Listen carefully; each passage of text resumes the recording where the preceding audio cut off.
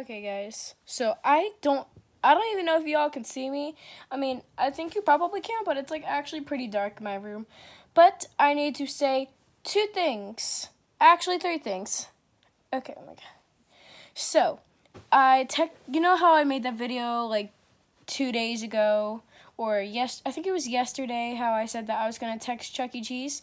So, I did I basically said, Hi, I'm part of the Five Nights at Freddy's fandom, and I've heard rumors that at some other Chuck E. Cheese places that the animatron that five kids have gone missing. Animatronics smelled like death, or rotten odors had been smelled from the animatronics, and they've been roaming around the buildings at night. I wanted to know if you knew anything about that. If you don't, it's okay. I hope you have a wonderful day. Bye bye.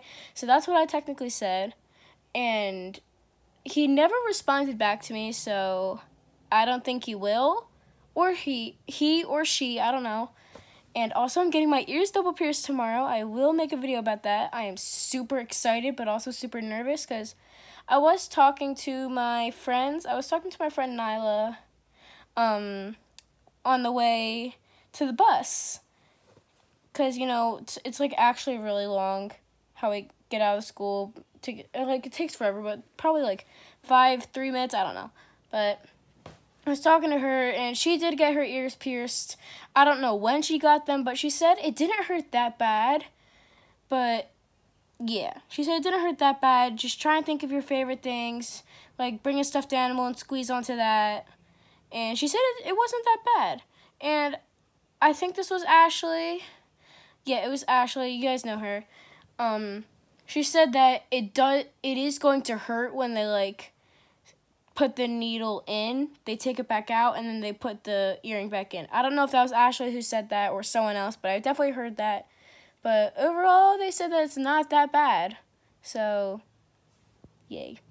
I will make a video about that. I'm getting my ears pierced tomorrow in the morning.